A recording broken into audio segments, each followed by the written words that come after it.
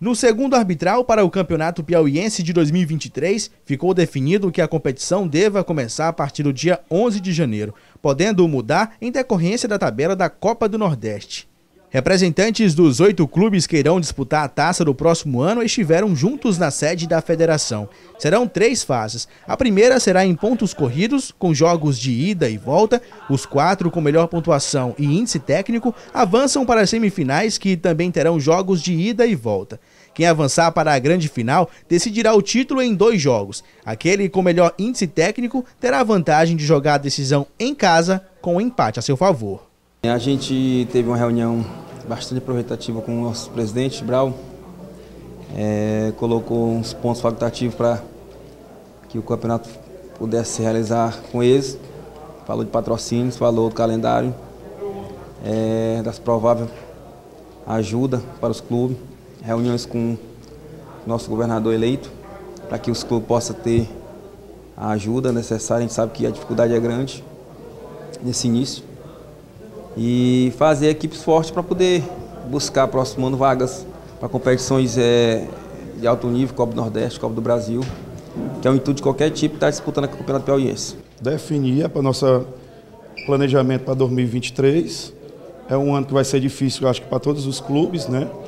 A gente vai estar com os pés no chão, não vamos fazer nada que a gente não possa estar honrando e, e se comprometendo com os atletas é, é planejamento, pé no chão, né?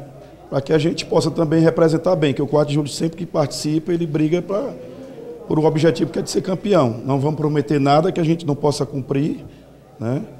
E a gente espera que a gente possa fazer um bom campeonato e possa estar brigando pelo título. Aqui a gente conversando com nossos companheiros, né, presidentes, a gente vê a dificuldade de como é colocar um time no campeonato piauiense, né? De modo geral, no campeonato em si. A dificuldade, todo mundo aqui reclamando, né? Falta de, de patrocínio, falta de, de, de, grana mesmo. E eu já vou sair daqui, meu juízo já está aqui vendo como é que eu vou fazer esses dias para a gente já começar a montar esse nosso time, que nós não, ainda, nós não fechamos com nenhum atleta ainda, né? Estávamos esperando esse arbitral. Mas eu já estou aqui, já vou viajar agora. Eu acho que vou passar a viagem toda pensando como montar esse time, como ir atrás de patrocínio, como arranjar grana mas nós somos guerreiros, nós somos valentes, e nós vamos colocar o ferroviário sim e vamos fazer um bom papel esse ano. Com pouco mais de dois meses para o início da competição, já tem time com data prevista para o início da pré-temporada. O time do Alto está praticamente montado, falta três peças só, todo montado. Deve apresentar, dia primeiro já quero apresentar, fazer exames médicos, porque o nosso compromisso com o Jacuipense já foi publicado ontem que nós vamos jogar no dia 5 de janeiro, lá em Riachão, no, lá, Jacuípe lá. É, e assim, o time tem que estar pronto. Né? Um time um pouco diferente do, do, dos que vocês são acostumados a assistir. Muitas peças mudaram, mas era o momento de você virar uma página e, e apostar em de outros jogadores, sendo grato a todos os jogadores que passou por aqui, claro. Tem também o Fluminense que deve apostar na base do clube. O Fluminense vai passar por uma reformulação dentro do elenco, não é? A gente deve contratar aí uma faixa de 15 jogadores, mas nós vamos levar pelo menos 18 da base.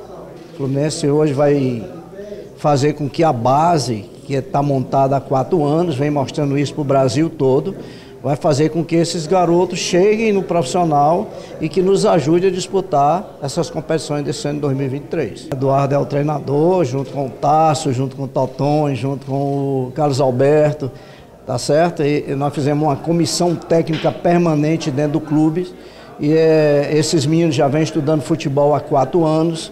Então está na hora do Fluminense ter a coragem de dar oportunidade para o Piauiense também, que a gente vem falando o tempo todo que nós vamos chegar a ser campeão brasileiro com o Piauiense. Então chegou a hora de mostrar também dentro da comissão técnica que nós temos potencial para ter um clube de ponta como o Fluminense, com exclusividade com a, é, uma comissão técnica piauiense. 4 de julho, Altos, Coriçaba, Ferroviário, Fluminense, River, Comercial e Parnaíba jogarão o estadual de 2023. O campeão terá uma vaga na Copa do Nordeste de 2024, uma na Copa do Brasil e uma na Série D.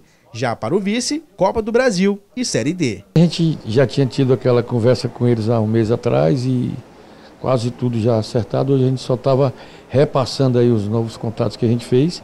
Realmente a CBF está negociando com uma, um patrocínio um master para todos os campeonatos regionais, né? A gente, claro, está incluso. Eu devo estar quinta-feira no Rio e já devo trazer essa informação mais concreta. E as outras coisas a gente já estava tudo acertado e graças a Deus hoje, assim, pela primeira vez foi um arbitral bem sereno, bem tranquilo, foi, graças a Deus foi tudo tranquilo.